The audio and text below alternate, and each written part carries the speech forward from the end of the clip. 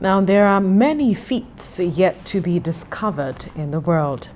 One of such is that of a young man who has decided to bury himself in the dictionary. You want to ask how? The story of Shafiu Adamu, based in the northwestern part of Nigeria, is such that lays credence to how far the brain can be strained to achieve anything. In this Sunday special, Ola Awakan traveled to the northern part of Nigeria where he came up close with a man who claims he knows more than 10,000 idioms and phrasal verbs in the Oxford Dictionary. The report.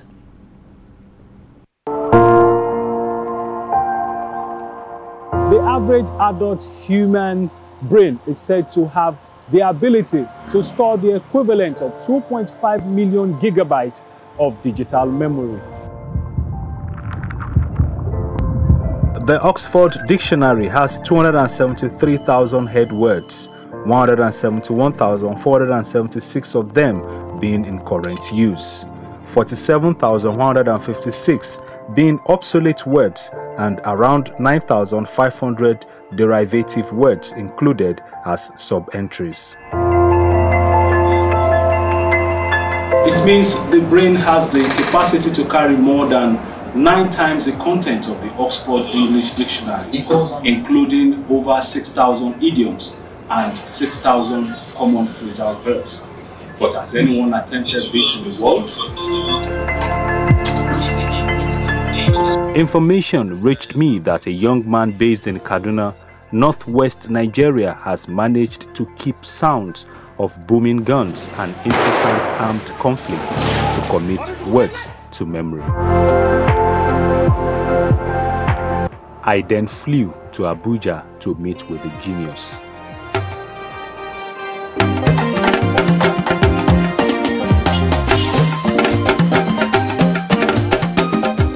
Now in the capital of Nigeria and specifically Kubwa area of Abuja, Shafiu Adamu based in Kaduna had to meet me here for his feet to be explored.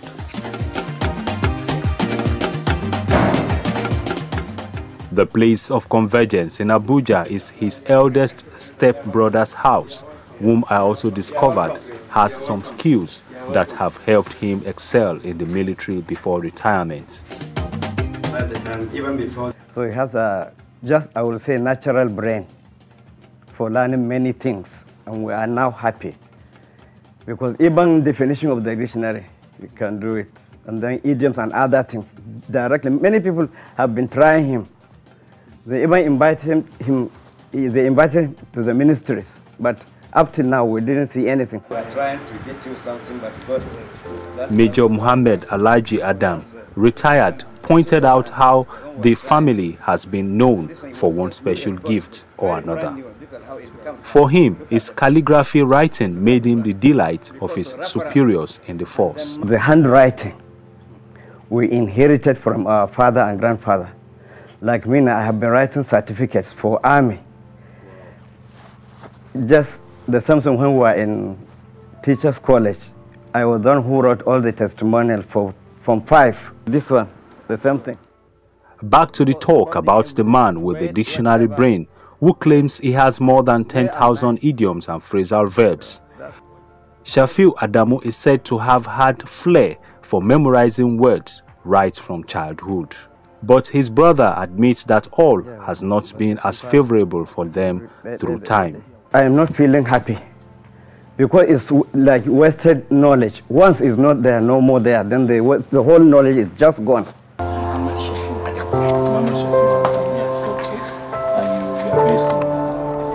Mr. Adamu is a 39-year-old who has been receiving mentions in national dailies for knowing virtually all the words in a dictionary, together with their meanings for almost 10 years.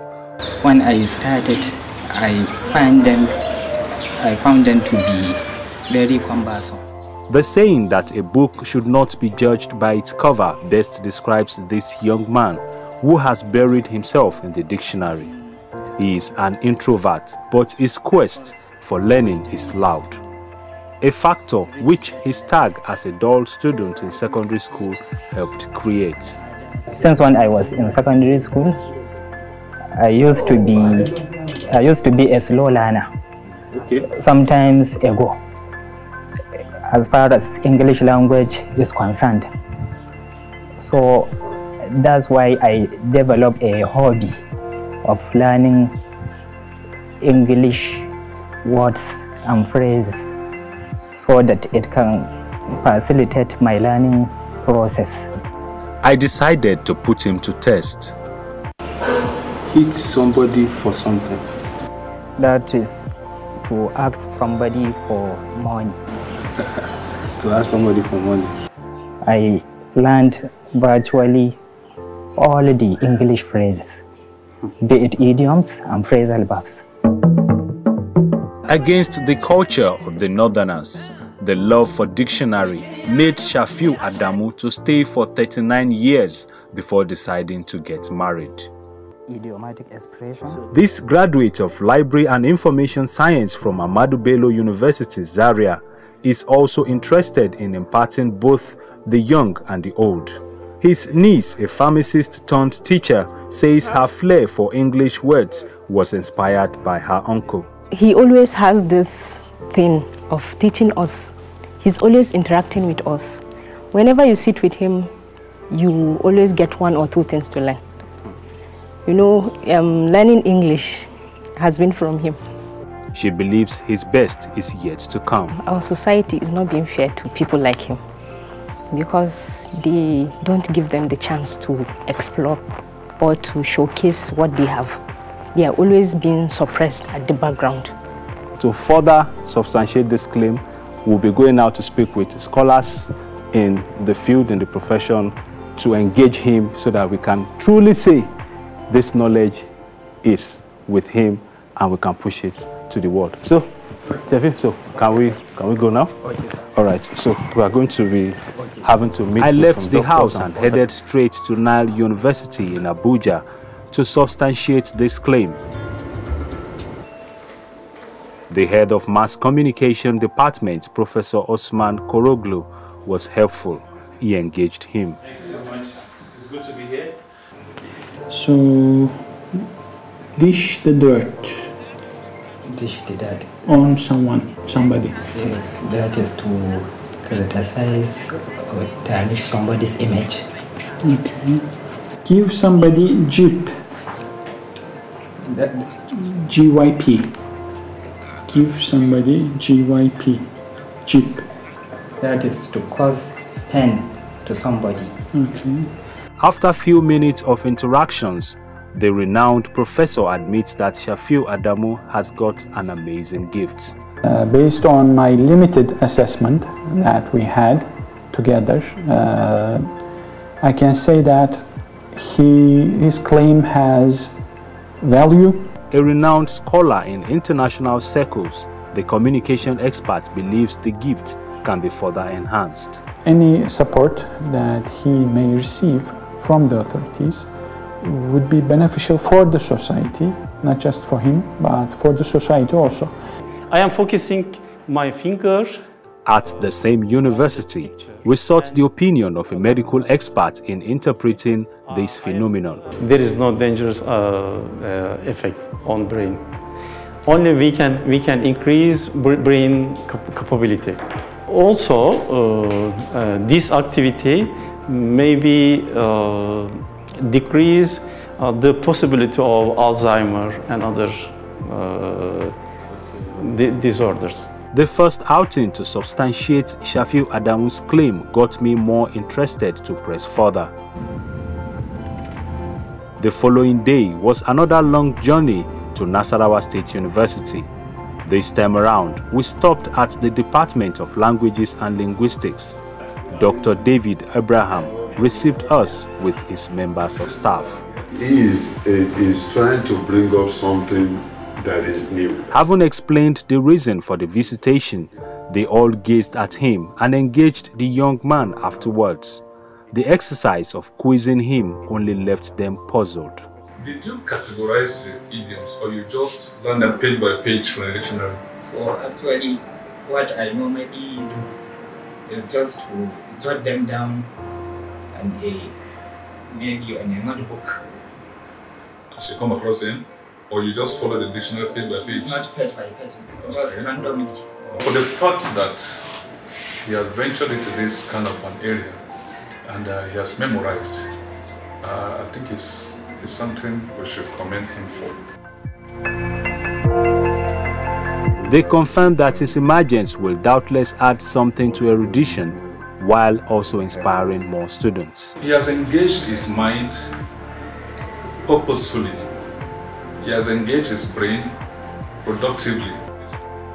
The linguist, lexicographer, and other scholars were quick to encourage him to do something on preserving indigenous idioms, proverbs, and phrasal verbs. And you take time to trace the, the, the idioms in Fulani because if you go on developing English on now, we in the ling in linguistics department we are more interested in our native languages. Of course.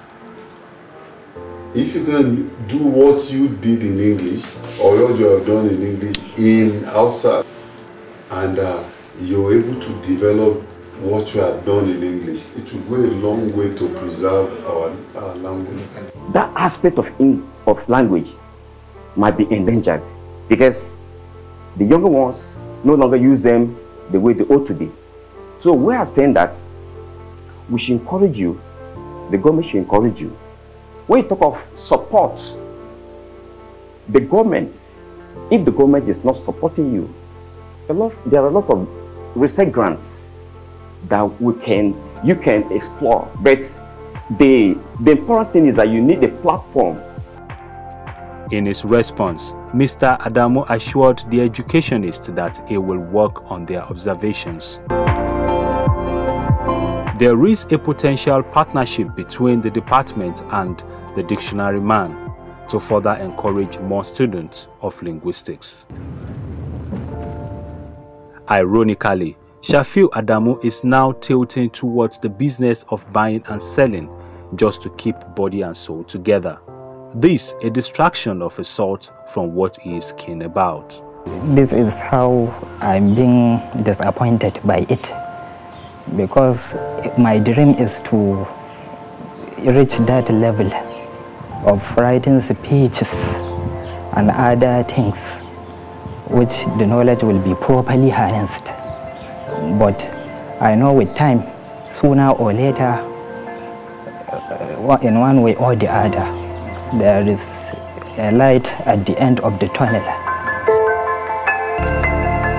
There are many Nigerians with unimaginable gifts and talents, but the level of acceptance from the society has made some of those potential blossom, while others have had to crawl out of their passion into something unconnected.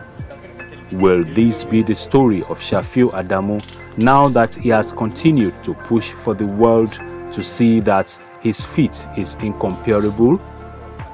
Time will tell if he will be able to secure a world record. Ola Awakan, TVC News, Abuja.